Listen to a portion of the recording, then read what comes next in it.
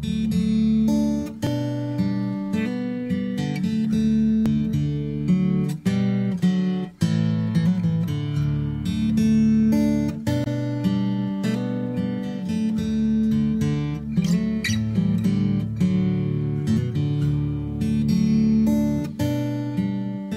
Don. You've brought a wealth of information, knowledge, and experience to our department, and you've graciously shared that with everybody, including me.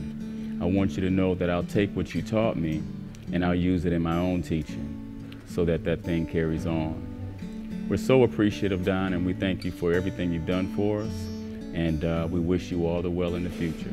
I'd like for you to know that um, I will take what you've taught me and I will share that in the future as well so that those lessons live on. Again, thank you so much, my friend, and all the best to you in the future.